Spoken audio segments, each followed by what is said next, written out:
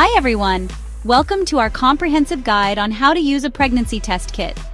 If you're here, you might be wondering how to use a pregnancy test kit or just curious about how these little devices work. Either way, you've come to the right place. Don't worry, you're not alone. Many people have questions about this process, and we're here to help. In today's video, I'll walk you through everything you need to know, step-by-step instructions on how to use a pregnancy test, and a simple explanation of the science behind it. By the end, you'll feel confident and informed. So let's get started. First things first, let's talk about what you'll need. Most home pregnancy test kits include a test stick and an instruction leaflet. The leaflet will provide specific instructions for the brand you are using.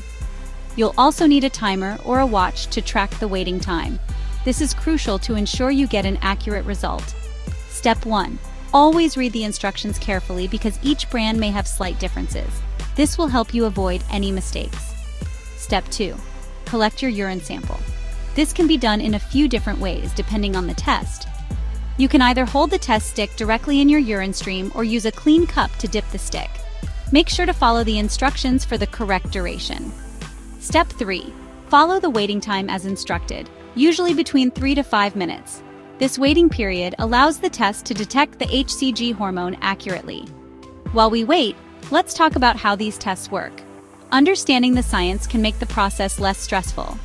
Pregnancy tests detect a hormone called HCG, human chorionic gonadotropin, which is present in your urine when you're pregnant. This hormone is a key indicator of pregnancy. This hormone is produced shortly after a fertilized egg attaches to the uterine lining.